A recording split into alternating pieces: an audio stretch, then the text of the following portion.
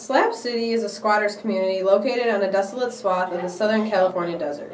There are drifters, dropouts, artists, and outlaws, and other cultural descendants that have been coming here for more than four decades. These people set up camps on crumbling concrete foundations where they live in trailers, vans, and buses, mostly and consider these slabs their home.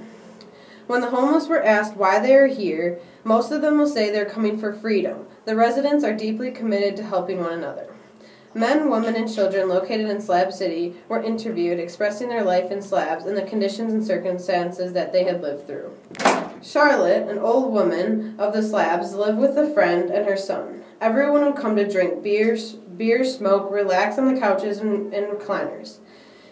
The camp burned down and is now bedridden, and or she, her camp burned down and she is now bedridden and dying. But the doctors can't do anything to help her. There was a man known as Insane Wayne. He wasn't really insane, but he liked but he liked to look diabolical. He was sitting in his pool to get relief from the summer heat. His voice was, ra- was raged by alcohol and cigarettes, but he still sang at the Slab City Theater, where he performed in front of an audience. He died in his trailer during a heat wave. There was another man named Dave, now a nine year old man, and he quoted, I haven't done a goddamn thing in my life except stay alive. He lived in the slabs for 10 years and preferred solitude. He liked art and had paintings of Van Gogh in his, in his mother's home. The last man was Jerry.